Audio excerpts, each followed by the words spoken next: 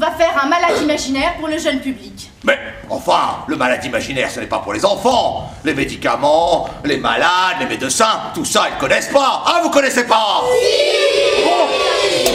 Mettez la main à la conscience, est-ce que vous êtes malade? Comment ça, si je suis malade?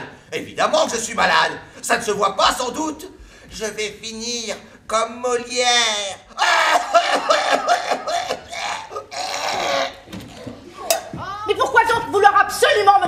médecin Vous êtes tombé sur la tête Mais non, Garance Angélique ne peut pas parler comme ça à son père.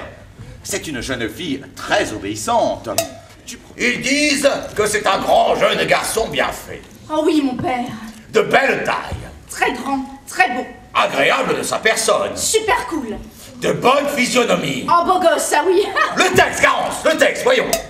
Je n'ai que faire des maladies ordinaires. Les petites fièvres, le mal de tête, le mal de ventre. Je veux des maladies importantes. Que vous soyez désespéré, à l'agonie, ah. le poumon, le poumon, vous dis-je, on pique ou on coupe. L'imaginaire est-il si loin du grand Molière? Tous les gamins nous le diront, demain.